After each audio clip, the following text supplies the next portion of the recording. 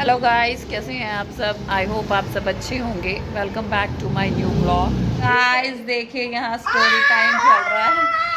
रात के बज चुके हैं बारह और यहाँ बच्चों को स्टोरी सुनाई जा रही हैं. नानियाँ अपनी दोती को स्टोरी सुना रही हैं. छोटी बच्ची है. छोटी बच्ची है ये. ये देखिए सुनो. बची हुई है. ये ना मुझे चुप कर. वो पता क्या है? जो गली पड़ोस पड़ोस की जनानी है औरतें सब पास आ गई।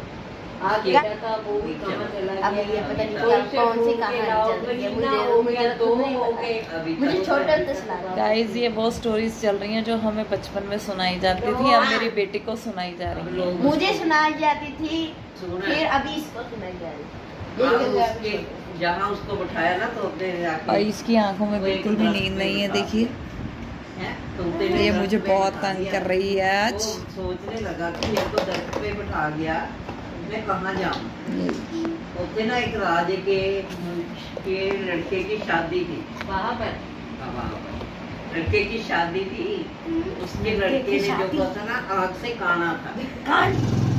तो आज तबीयत कुछ ठीक नहीं है। गला भी ख़राब हो रखा है। तकरीबन सारे ही बीमार हो गए हैं।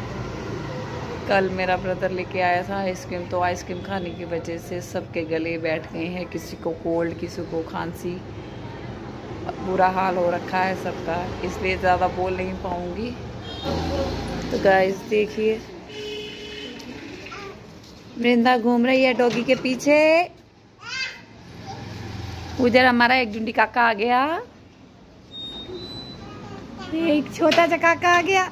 वो भी डॉगी को देख रहा है। ना पीछे हो जा वृंदा। नो।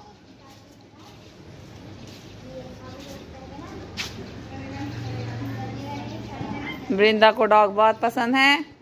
वृंदा, नो।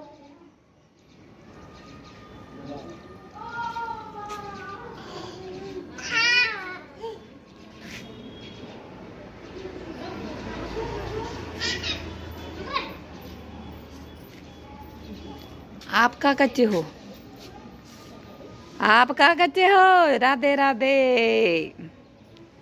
जय श्री राधे। जा रहे हो। ये देखिएगा इस कैसे भागी जा रही है। इसको बिल्कुल परवाह नहीं है।